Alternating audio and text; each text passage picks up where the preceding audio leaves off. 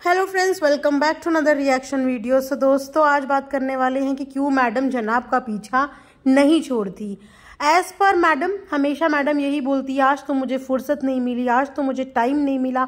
लेकिन जब बात आए जनाब को स्पाई करने की तो मैडम वहाँ पे कभी भी पीछे नहीं हटती।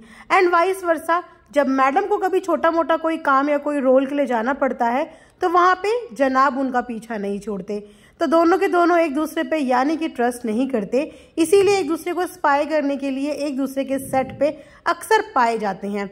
इसके अलावा भी मुझे एक और इंपॉर्टेंट बात करनी है तो पॉडकास्ट को आप एंड तक ज़रूर सुनना और वीडियो पसंद आए तो लाइक शेयर एंड सब्सक्राइब ज़रूर करना। सो दोस्तों, जैसे कि आप सब जानते ही हैं कि जो हमारी मैडम है, वो टीवी इंडस्ट्री में काफ़ी अच्छा नाम और काम कर चुकी हैं। आदर्श बहू का कैरेक्टर प्ले करते करते लगता है अभी तक मैडम उस रील की दुनिया से, उस डेली सोप की दुनिया से बाहर नहीं निकल के आ पाई। क्योंकि उस डेली सोप के कैरेक्टर की वाह वाही जो मैडम को लोगों के घरों से अपने लिए सुनने को मिलती थी, उस चीज़ की आदत मैडम को इस कदर हो चुकी है कि मैडम अभी तक शो ओवर हो गया मैडम की एज भी ओवर हो गई। लेकिन मैडम के अंदर से अभी तक वो कैरेक्टर ओवर नहीं हुआ। वो कैरेक्टर अभी तक चालू है। इसीलिए शो बंद हो गया, लेकिन मैडम के व्लॉग में अभी तक भी आपको मैडम का वही आदर्श बहू वाला जो कैरेक्टर है, वो नज़र आता है।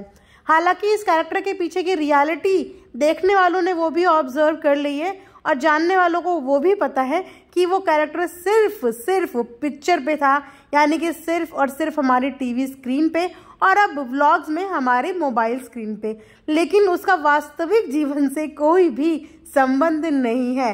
वो सब कुछ काल्पनिक है तो कृपया करके उसको एक फिक्शन स्टोरी की तरह ही देखें, ज़्यादा दिल ना लगाएँ। तो दोस्तों, मैं आपको बताती हूँ कि मैं ये सब क्यों बोल रही हूँ। द रीज़न बिहाइंड कि पिछले काफ़ी वक्त से मैडम को इतनी सिंपथी मिली, इतनी अटेंशन मिली, इतना पिटी फील किया लोगों ने मैडम के लिए, क्योंकि हमेशा से मैडम ने अपने शो में यही तो किया है। एक तरस खाई हुई बेचारी, आदर्श बहू, जो कि सब की नेगेटिविटी का शिकार होती है, जिसको परिवार के सारे लोग प्रताड़ित करते हैं, वही तो कैरेक्टर मैडम प्ले कर रही थी। कभी सास के ताने, कभी जिठानी के ताने, कभी देवरानी के ताने वही सब कैरेक्टर मैडम ने अब अपने घर के सदस्यों के हिस्से में दे दिए हैं। तो मैडम अपनी प्रेगनेंसी जर्नी से लेकर अभी तक उसी कैरेक्टर में थी, एक सिंपथी वाले कैरेक्टर में, जहाँ पे मैडम चुपचाप सिर्फ़ सुन के और इंजॉय करती होगी डेफिनेटली जब मैडम को दिखता होगा कि हरे कोई कह रहा है कि अरे मैडम के पैर इतने सूजे हैं, सांस टेक केयर नहीं करती। कोई कहता था, अरे मैडम का सी सेक्शन हुआ है परिवार का कोई सदस्य साथ में नहीं है। अरे, मैडम घर आ चुकी हैं, मैडम के बाल ऐसे हैं, मैडम के कपड़े ऐसे हैं, मैडम को नहाने का टाइम नहीं है बेबी की टेक केयर करने वाला कोई नहीं है, मैडम के ऊपर पूरे ससुराल की जिम्मेदारियाँ हैं। मतलब ब्ला ब्ला ब्ला इतना फुटेज इतनी सिंपथी इतनी सिंपथी लेकिन इनसाइड स्टोरी कहते हैं ना, अब धीरे धीरे सबके सामने क्लियर आ रही है कि इस पूरे घर में बेचारा कौन है और इस पूरे घर में महारानी कौन है? अक्सर यही मिसकंसेप्शन लोगों के माइंड में रहा कि बेचारी मैडम तो अपने ससुराल वालों के लिए करती करती थकती नहीं है। जब देखो उनके गुणगान गाती रहती है और बेचारे ससुराल वाले मैडम को पूछने तक नहीं आते, उनके लिए ये नहीं करते, उनके लिए वो नहीं करते। So guys let me clear you कि ऐसा कुछ भी नहीं है। मैडम मैडम ही है अपने घर की। मैडम के इंस्ट्रक्शन के बिना कोई आ नहीं सकता। मैडम का जो बॉसी एटीट्यूड है अपने खाने को लेके पिकुलर होना अपनी चीज़ों को लेके पिकुलर होना तो कोई उनके लिए कैसे बना सकता है? क्योंकि उनको अपने हाथ की कुकिंग के अलावा किसी और की कुकिंग पर ट्रस्ट ही नहीं है। आप तो जानते ही हैं कि उनकी उंगली करने की आदत हर बात में उनकी उंगली खड़ी हो जाती है। तो कैसे वो किचन में किसी को अपने अलावा काम करने के लिए अलाउ कर देंगे? तो देखा जाए तो गलती घर वालों की नहीं है। गलती किसी की भी नहीं है। मैडम के अंदर इतना ज़्यादा सुपीरियरिटी कॉम्प्लेक्स है कि मैडम को अपने आगे सब चाय कम पानी लगते हैं। इसीलिए मैडम ने चाय की रेसिपी तक शेयर कर दी, क्योंकि मैडम को लगता है कि वो चाय से लेकर खाना बिल्कुल परफेक्ट बनाती है, और उसके अलावा मैडम को किसी की भी गाइडेंस की कोई ज़रूरत नहीं है। लेकिन क्योंकि मैडम को अपना आदर्श बहू वाला भी नकाब पहने रखना है उस नकाब को उतारना नहीं है, क्योंकि टाइम टू टाइम वो काम आता है। जैसे अब शो में काम आ गया, मम्मी का एंगल बहन का एंगल परिवार का एंगल बेचारा गरीब वाला एंगल सारे एंगल काम आ गए ना तो कभी कभी इस एंगल को बनाने के पीछे भी कुछ ना कुछ मोटिव होता है। तो इस एंगल को मैडम कभी भी ना टेढ़ा मेढ़ा नहीं होने देगी, इसको बिल्कुल परफेक्ट ही रखेगी। लेकिन चीज़ें तब थोड़ी सी क्लियर होनी शुरू हुई, जब फाइनली लोगों को ये देखने को मिला कि एक्चुअल में उनके बेबी की केयर कर कौन रहा है। बेबी की केयर मम्मी कर रही है, खाना बनाने के लिए कुक लगे हैं हाउस हेल्प बर्तन धोने, पोछा मारने, झाड़ू मारने के लिए लगे हैं। उसके बाद भी मैडम अपने हर व्लॉग में यही कहती है, आज मुझे टाइम ही नहीं लगा, आज मुझे फुर्सत ही नहीं मिला, आज तो ये सोया ही नहीं, आज तो उसने रेस्ट ही नहीं किया। लेकिन जब भी हम व्लॉग में देखते हैं, इनका बेबी हमें अधिकतर सोया हुआ ही मिलता है या अपनी दादी की गोद में मिलता है। तो मैडम कौन से ऐसे काम में इतना बिज़ी होती हैं कि पूरे दिन मैडम के पास टाइम भी नहीं होता? आज इनकी मम्मी की हालत देख के देखो, ये नज़र तो आ गया कि उनकी मम्मी को बेचारी को फुर्सत से चाय पीने तक का टाइम भी नहीं है।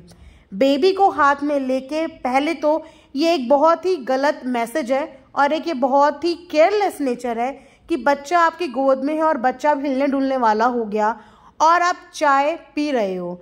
चलो, तुम्हारी मम्मी ने नेग्लेक्ट कर लिया, लेकिन तुम तो परफेक्ट बहू परफेक्ट मदर और सुपर वुमेन हो तुम्हारे माइंड से ये चीज़ कैसे निकल गई कि अगर जरा सा बच्चा हिल गया तो चाय का कप संभले नहीं संभलेगा और वो बच्चे के ऊपर गिर सकता है। इनसे ये भी नहीं हुआ कि जब मम्मी को ट्रायल करने के लिए चाय दी ही थी तो उन बेचारी को सुकून से पाँच मिनट चाय पीने ही देती थोड़ी देर के लिए बच्चे को पकड़ लेती, वो अपनी चाय एंजॉय कर लेती, लेकिन मम्मी को भी इन्होंने बस ये बोला कि एक घुट में बस पी जाओ पी जाओ। लेकिन इनसे इतनी मेहनत नहीं हुई कि मम्मी से बच्चा थोड़ी देर के लिए ले ले। और इनकी मम्मी की हालत अगर आप कंपेयर करोगे ना, शुरू से जब वो आई थी, जिस तरीके से वो पुणे में रहती थी, उनकी मम्मी बहुत ही पिकुलर है अपनी चीज़ों को लेके और बहुत ही हाइजीन और क्लीनिनेस लेडी हैं। आपको उनके घर के तौर तरीके और उनके घर के एग्जीक्यूशन को देख के ये बात समझ में आती है इनकी मम्मी कितनी नीट एंड क्लीन लेडी है अपना हर घर का एक एक छोटे से छोटा सामान उन्होंने कितनी अच्छी तरीके से ऑर्गेनाइज करके रखा था। और आज अगर आप इनकी मम्मी की कंडीशन देखोगे थोड़े दिन पहले तो उनकी मम्मी के सर पे इतने ग्रे हेयर हुए थे। एंड देन जब लोगों ने कमेंट्स करना शुरू किया तो नेक्स्ट ब्लॉग में बेचारी मम्मी को भी लगता है डाई करवा के ले आई। लेकिन उनकी मम्मी की हालत उनकी स्किन की हालत उनकी खुद की हालत पता चल रही है कि सारा दिन बच्चे को वही संभाल रही हैं। यानी कि नानी नहीं, वो नैनी बन के रह गई हैं। मैं ये नहीं कहती कि नानी अपने बच्चों को, अपने नाती पोतों को संभालती नहीं है। बिल्कुल संभालती है, लेकिन इसका मतलब ये नहीं कि आपने सारा का सारा भार जो है, वो नानी के सर पे ही डाल दिया।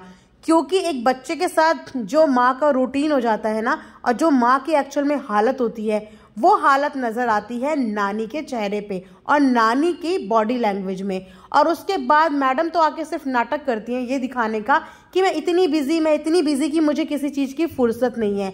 लेकिन अगर आप मैडम के चेहरे का ग्लो देखोगे ना तो, तो मैडम के चेहरे का ग्लो बिल्कुल बरकरार है और वहीं पे इनकी जो मदर है ना उन्होंने काफ़ी ज़्यादा वेट लूज कर लिया है। बोलने का मतलब ये है कि ठीक है, तुम्हारी मम्मी अगर बेबी को संभाल भी रही हैं तो चलो सबकी मम्मियाँ, सब नानियाँ संभालती हैं। तो कम से कम तुम अपना रोना लेके तो दुनिया के आगे मत आओ।